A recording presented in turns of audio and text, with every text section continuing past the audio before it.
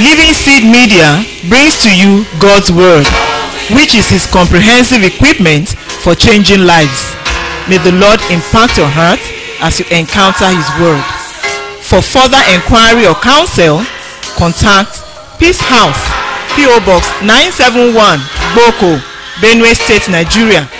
Telephone numbers 0703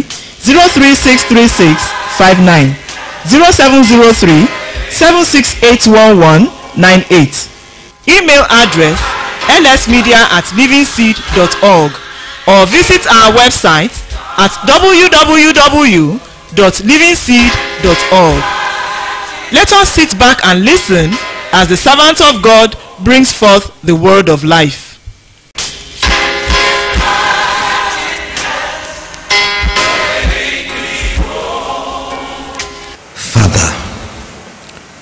Show mercy upon our homes. God, we ask that you will exercise compassion on our lives now. That as you minister through your servants, that mercy will come upon us in abundance to evoke grace out of us to be able to live lives according to your word. We pray it in Christ's name. Please welcome Brother Gbile.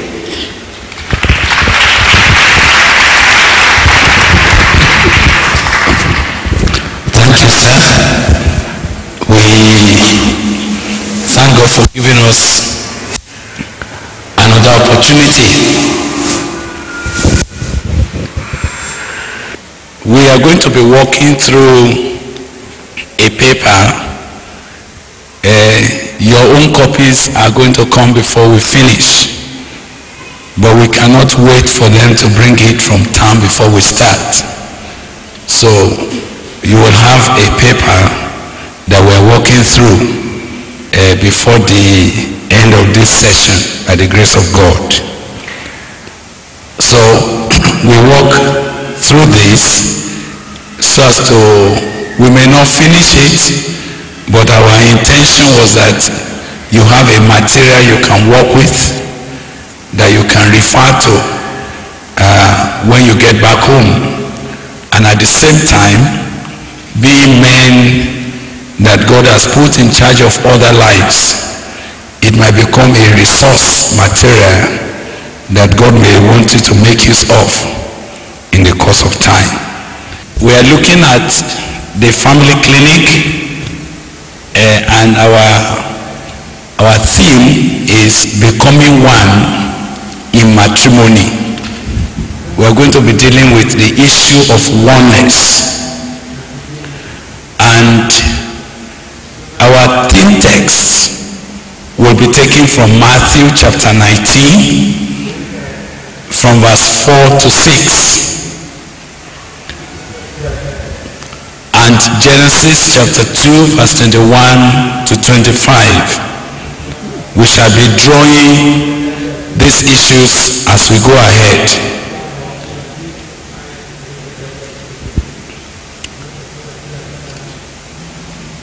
And he said, For this cause shall a man leave father and mother, and shall cleave to his wife, and they twain shall be one flesh. Wherefore they are no more two, but one flesh. What therefore God has joined together, let not man put asunder. I will bring the introduction and then Sister Sade will now take on as we discuss. We'll be doing it as joint discussion as we go ahead. And then if there are contributions, we'll be making. During the last clergy retreat, we introduced the family clinic as an input into the life of the men and women of the clergy. As we studied the Word of God, we discovered that God instituted marriage as a means of causing his will to be done here on earth. It is a deliberate help God has made available for the man in order for him to fulfill his calling. God himself said, It is not good that the man should be alone. I will make a help meet for him. And this help that God said he will make was the woman whom God made and brought unto his life. The Bible says, Whoso finds a wife finds a good thing and has obtained favor from the Lord. This favor from the Lord is what money and riches cannot buy as we read in Proverbs 19 and verse 14. When God wants to favor a man and show him mercy, gives him a wife. She is God's treasure and God's divine investment into the life of the man. It is as they join together that the wholeness, the completeness, and the fullness that God intends for the man is realized and is achievable. God's desire is that the two of them become one flesh in everything they do. God sees them as one and treats them as such.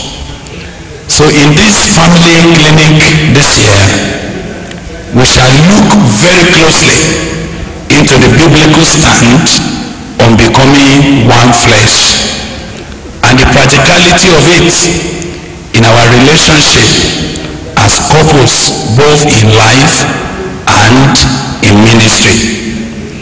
We believe that this is the bedrock and this is God's ultimate for our marriages.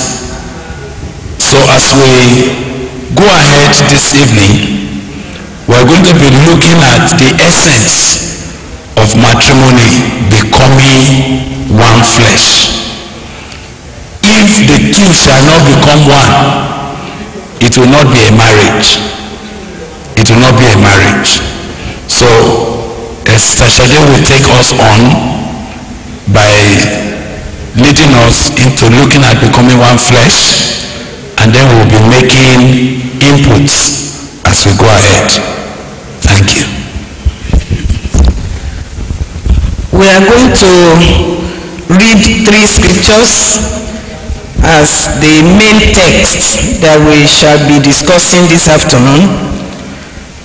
We will read Genesis chapter 2, verses 21 to 25. Auntie Gloria, you please help us with that. We're going to read Matthew 19, verses 4 to 6. And we're going to also read Ephesians 5, verse 31. We will be going back and forth in these three scriptures to discover and have an understanding about the issue of becoming one flesh in matrimony. Genesis chapter 2, verses 21 to 25.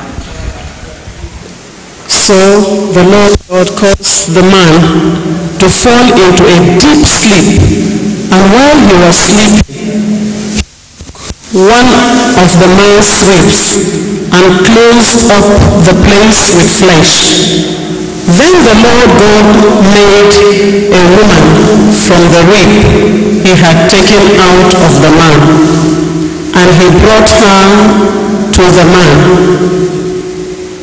The man said, This is now bone of my bones and flesh of my flesh. She shall be called woman, for she was taken out of man. For this reason, a man will leave his father and mother and be united to his wife, and they will become one flesh.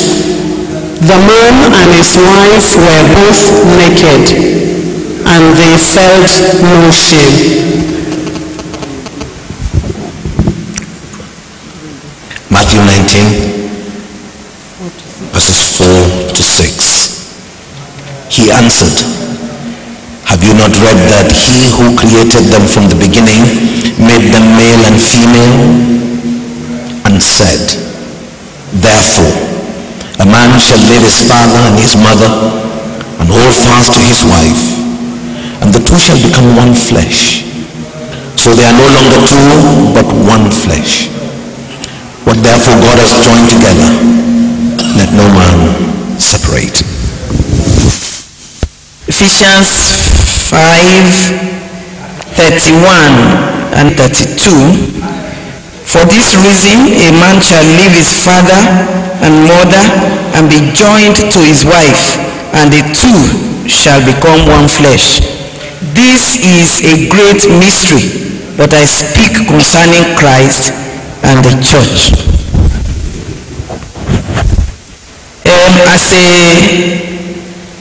preliminary to our discussion, you will discover that from these three scriptures, the foundation for a sound and healthy and God-glorifying relationship in the home is a thorough understanding of the implication of the two shall become one flesh as the scriptural definition of marriage. In other words, you can define marriage as the male and the female becoming one flesh, the two becoming one flesh.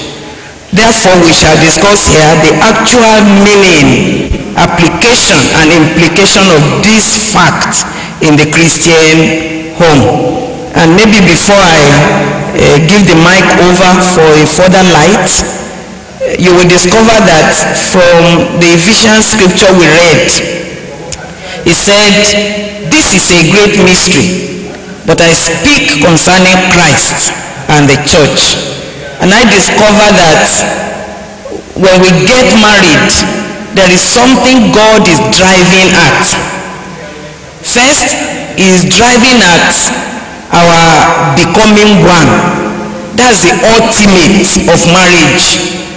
It's not just to have children. We can we will have children, but the ultimate that God wants to achieve is that the two of us will become one flesh. And in becoming one flesh, we are going to be exemplifying what should be the relationship between Christ and the church. And being leaders in the body of Christ, God wants our marriages to become samples, specimens that will show the church what should be their relationship with Christ. While the relationship of Christ with the church is supposed to be the standard that the husband and the wife will be looking at to build their own home, their own relationship. When our relationship goes on and we become one, we're going to prove and manifest to the church how they should relate with Christ, who is the, the head of the church, who is the bridegroom of the church. So discussing this issue is not just to have an exercise or just to make you know a good marriage for ourselves. There is something God wants to achieve. He wants to achieve oneness that we will demonstrate both to the world and to the church what it means to be married and what it means for Christ relating with his church. I would like to hand over the mic to my husband for comments. Right. the first thing that is, is striking, which I wanted to highlight, is that it is not marriage if the two do not become one. By definition, if you take the word marriage by definition it is a marrying component by component, it is a, yes, that's the right word. It's a marrying, a putting together to produce an inseparable one. eh? Yes, it's like grafting. It's like when you graft, uh, you know, a plant into another, and you glue them to the point that by the time you are coming, you cannot see the difference anymore because they have now become one and the fruit that is coming out of this grafting this marriage you cannot particularly say this fruit came from this side or from this side. It will be the fruit of the both. I don't know whether you are getting that. So if it is marriage at all biblical marriage is not just staying together. Biblical marriage is not just having sex with someone and she goes and you come back marriage in god's understanding goes beyond that we're just living together. God's intention is that they are no more two. So what we are saying is that for example as you see uh, the archbishop and his wife in god's intention he intends that they will no longer be what? Two that by the time you touch uh, our brother ben you will not go far before you see gloria inside. And you cannot separate it. And any attempt to separate and say this is for ben this is for gloria you will now be causing a damage that will be irreparable. So the lord jesus said what god has joined together let no man do what? Put it asunder you see the word asunder now it all points at something very deep in my mind. You know the word asunder is much more stronger than to separate do you understand that? It means you will need a panasol to do what? To sund it apart.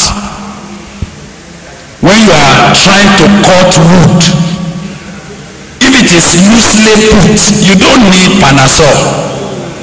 Actually you don't use the word asunder for something that is loosely put. For example look at my bible here. And i put this on top of this. To separate this from this you don't use the word asunder am i right? Why? Because they are not one they are just loosely put. But if i really want to use asunder what do i need to do? Look at this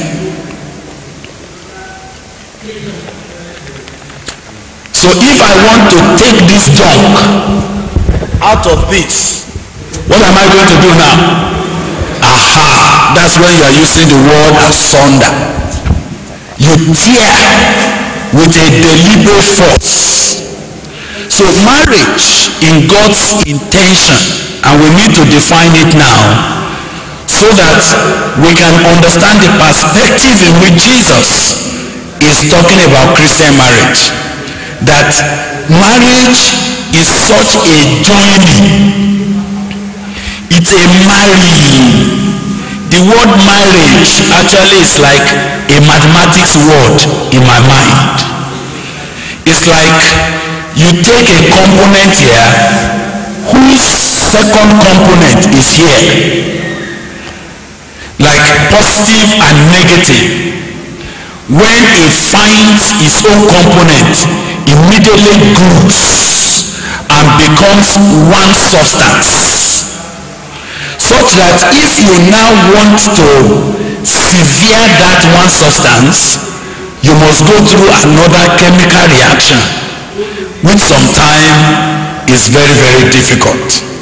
So we're praying that as we begin to look at god's intention for christian home the first definition is that they are are no more two. They are one. They are one. And malachi chapter two i would like someone to help us. Do you have your living bible here? Malachi chapter two and if someone could quickly those who carry the old living bible to help us. The man with microphone can you go in and help us? Malachi chapter two you will read for us verse fourteen and fifteen from very thirteen fourteen fifteen there is that man there look at him there will you please stand up sir aha From verse 13. Did you say 13, sir? 14. Why has God abandoned us? You cry. I'll tell you why. It is because the Lord has seen your treachery in divorcing your wives who have been faithful to you through the years the companions you promised to care for and keep. You were united to your wife by the Lord in God's wise plan. in god's wise plan In God's wise plan, when you married, the two of you became one person in His sight. now do you understand this now when you married the two of you became how many persons god sees you as one person actually it is people that sees you and they say uh, this man and that woman. Whenever god looks at you since you got married what does he see? He sees one person.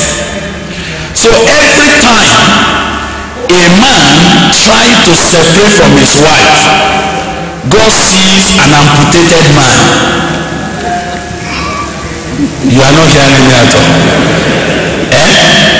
Every time you and your wife are not one you are a wounded man.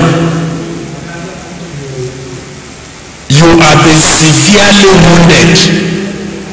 And the wound is such that an essential part of your life was cut and amputated.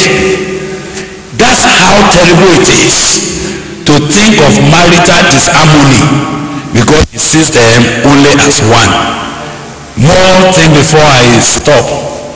It is that because he sees them as one actually they have one name in his presence. They have one name. They have only one account so every time you are drawing your prayer god only sees one person. He doesn't hear two voices. So whenever you divide voice which is our simple definition of divorce what is the meaning of divorce for us in this family clinic?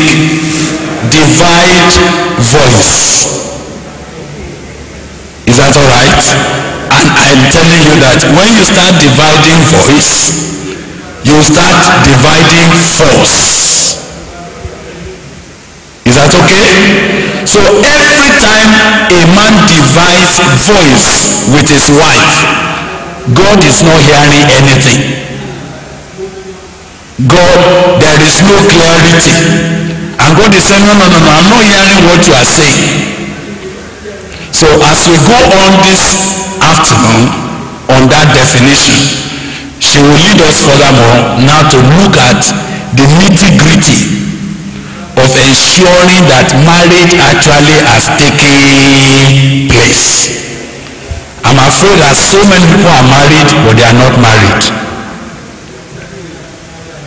I imagine that some people are married for 10 years and they are still two. They meet together when they want to sleep together. And sometimes some have put their bed on this side and the other side. And on the day they are going to do some external ceremony, they come together, say let's do it together. May God help us.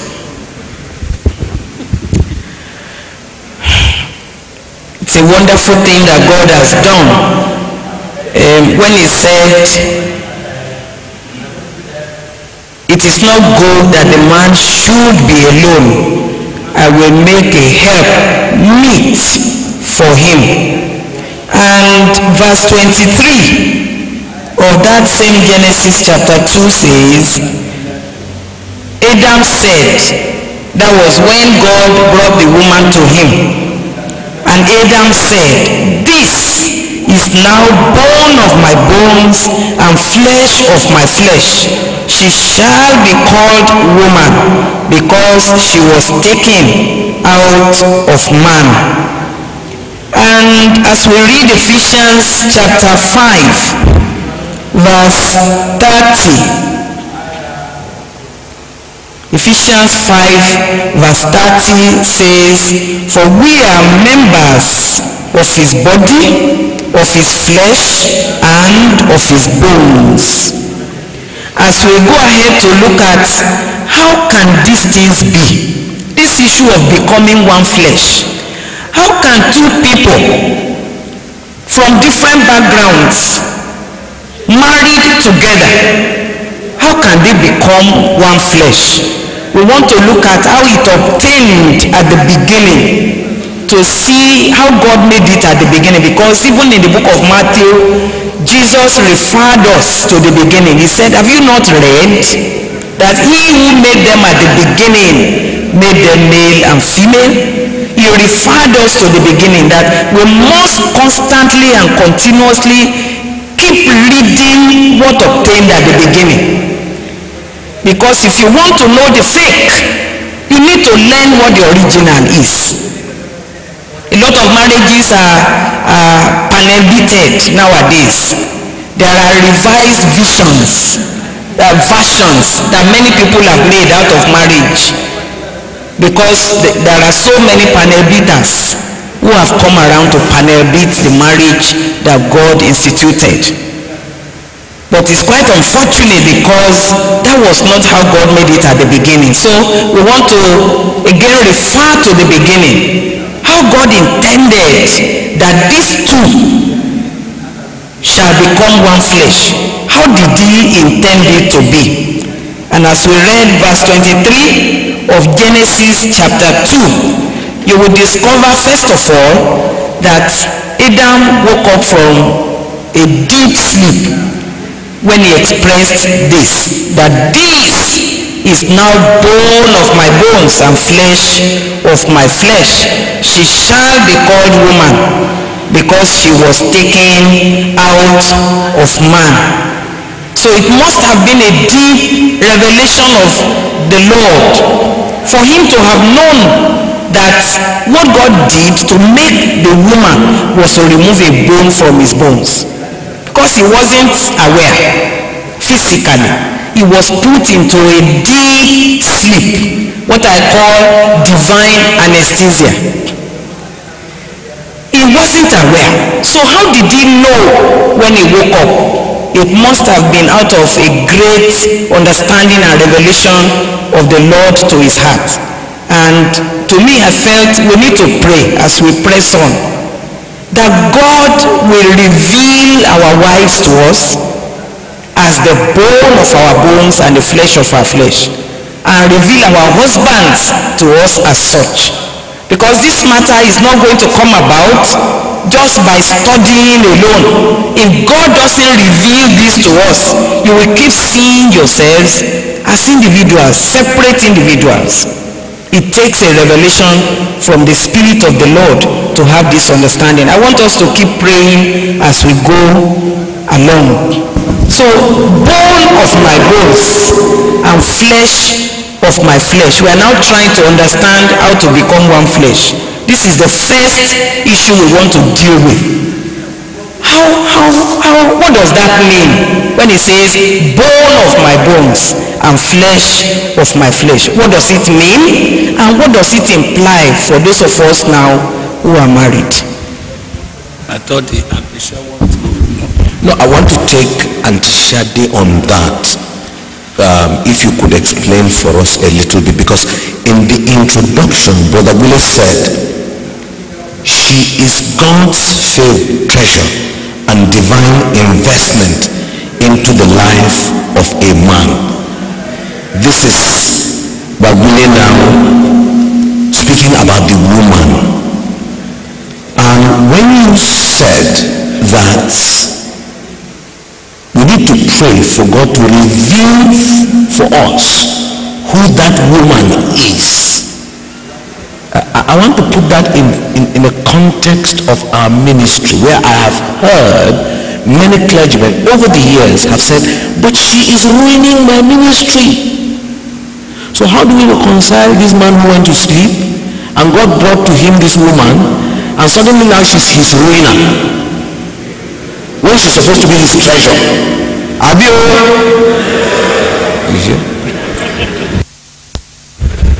I think we should keep on studying the original. Uh, you know, one thing I've learned from the banks, I went to the bank one day to collect money and uh, someone went to get the, to cash the money for me. And I just collected it. I was almost going, He said, ah, but let me just wait first because they have not yet put this money into their you know they have not they have just brought it from town. They want to check it. And i looked at it and said this is good money. There is nothing wrong with it. He said let me let me check. And she went and came back and more than almost ten of the currency was fake. I said how did you know? I discovered that these bank people study the original currency into details so that by the time you bring the fake and with their special light they will be able to detect the fake. When we study the original first then we will see where we went wrong by calling our wives the one who ruined our ministry let's see how god intended it to be at the beginning and god helping us we will see our mistakes and God is going to correct us in the name of Jesus. Uh, now, I thought there was a question that you began to raise. The question of revelation. The question of how do you see your wife? And it looks to me as if right from that Genesis chapter 2, there was a revelation. And I was going to say that many, many times, husbands, we have not allowed God to reveal our wives to us. I'm not talking about revealing the woman to marry. I'm talking about this woman that you have married. You've not caught a revelation of who she is to you unless god begins to give our understanding that look this woman is not just another woman you see what touched me was that they have brought many animals to Adam to see what he will call them. And the Bible said there was not found any of those animals suitable for him. Which means even when people are pretending to fall in love with their dog eh or that they are great friends with their cat see them kissing the the cat. When you go to the root of this is because there is a terrible disorder in their lives. They are so lonely in life that the dog has become their companion. If you see them discussing with the dog you will think that they are doing something but it's an aberration god has never made a dog or a pet to fit into our lives. God will help us to note that. But what the first thing we are noting is that when he woke up from sleep there was a revelation of this woman to him. And we are praying that for our marriages to produce the kind of thing that god is looking for it will be important that we begin by saying to god who is this wife that you have given me? Because when she when he said she is the bone of my bones. Now i don't know how to put it but i wish we can do a little study of the preposition what is the meaning of the word of as a preposition? The word you you use the word of as if this is the offspring isn't it? As if this is part of. I don't know whether is it coming out clear. It's part of so when the man woke up and saw the woman he didn't see a separate entity. Did you see what he saw? He saw an extension of himself. I don't know whether you can see that. He saw that ah this woman actually is out of me. I do, do, do you understand now? As if what i am essentially part of me is this. And i'm always wanting to know why genesis so adam said this now is the bone of my bones. Bone of my bones not bone with my bones. The preposition is of not with. Will anybody help us very quickly in the congregation to differentiate between of and with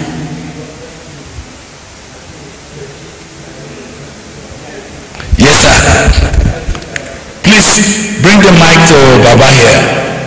We are looking at the difference between with and of.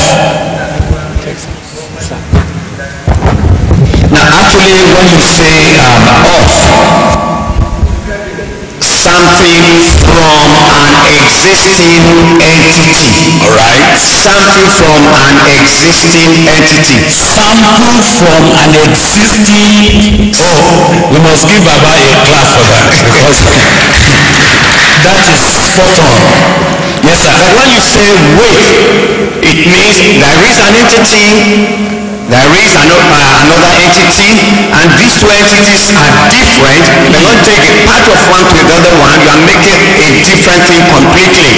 Two different entities. So something with expands but doesn't make them the same thing. It's just like in um, in science, uh, you know, uh, you have an atom, another atom, you form a compound. You, you follow? Yes, So it is with something, it is just uh, something to enlarge ano- another thing, not to make one thing the same, the same thing. Praise the Lord. Are we getting something from what Baba is saying here? The word of is saying this is just but a sample from the same entity. But when you use the word with, these are two different substances that are not of the same source that you are only bringing together as an addition. Do you, do you understand that now? But when you use the word of, you are saying this is from the same entity, the same substance. So actually when you bring it, are you getting me? When you bring it, what you will discover that they just naturally combine. Isn't it? And join. But when you bring from a different entity, a different substance, even if you mix them, there is still a trace of what? Of separatedness, of different. They are not the same. So we are talking about same when we use the word of. I think, did you follow what Baba said? Do you agree with that definition or you have something else to say about of and with? So when you look at that scripture, it says, this is the bone of, that is, the bone out of my bones. So actually when Sade comes, she has not come to a strange place. Where has she come? She has come into what and where she originally belonged. Oh my God, are we getting that now? That as she comes here now, she has only become, she has only found the components where she was made of.